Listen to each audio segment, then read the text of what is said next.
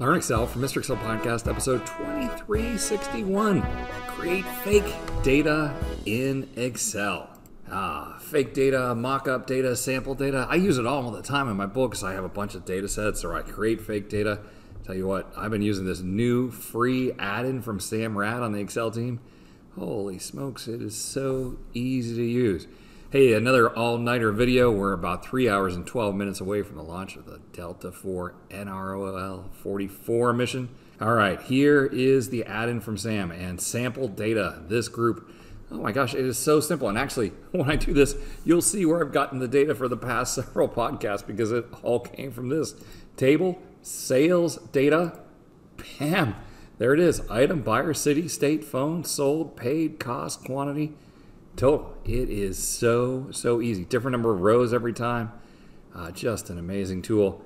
Uh, the little lightning bolt here, table, books, all right, title, author, pages released, uh, whether or not it's been read, and cost, or people. So first name, last name, address, city, state, email, whether they're married, and what their balance is. Or all right, here, let's uh, create a fake data set. Uh, so I'll come back to the sales table. All right, so here's a data set that I have, and I want to add some things to it. I need some full names. Bam, that's done. Or just first names, just last names. Add email addresses.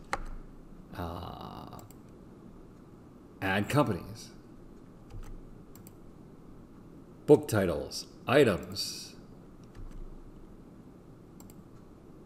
a series of colors pale pink, purple taupe, Portland orange, uh, or here, yes, no, a series of yes, no's. Um, number, whole numbers, decimal numbers, percents, money, credit cards, social security, uh, phone numbers. It'll generate all of those. Uh, here, I love this one. Under address, I'm going to put city. All right, so now we have a series of cities, and then I'm to come over to the next column. And by the way, notice I'm just choosing one cell. It detects how many rows are in the adjacent data, uh, right? So uh, I have cities, and now I'm going to add state, and it's smart enough to go figure out Dallas is in Texas, McKinney's in Texas, Hampton's in Virginia, Cleveland's in Ohio. An awesome, awesome, awesome tool. Uh, dates, month, year, year, or time, it'll insert. And then Sam, I think, just added this feature here called change case. So let's come back here to buyer.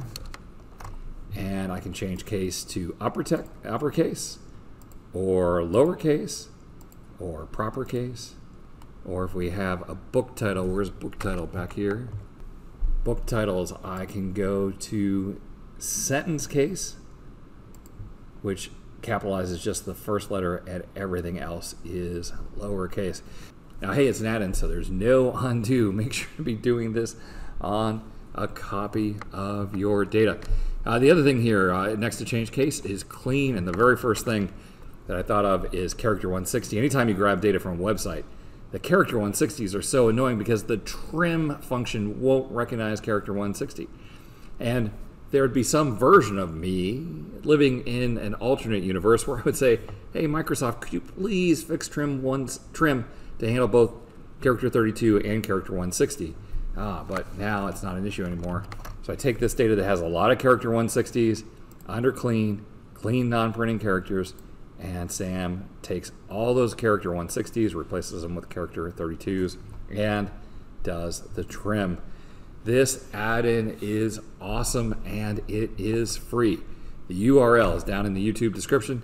Download it. You'll be creating fake data for your next book, podcast, YouTube video, uh, or just to make it look like you've been working like crazy when your boss walks in. Down below, please like, subscribe, and ring that bell. Feel free to post any questions or comments down in the YouTube comments below. Well, hey, I want to thank you for stopping by. We'll see you next time for another netcast. Mr. Excel.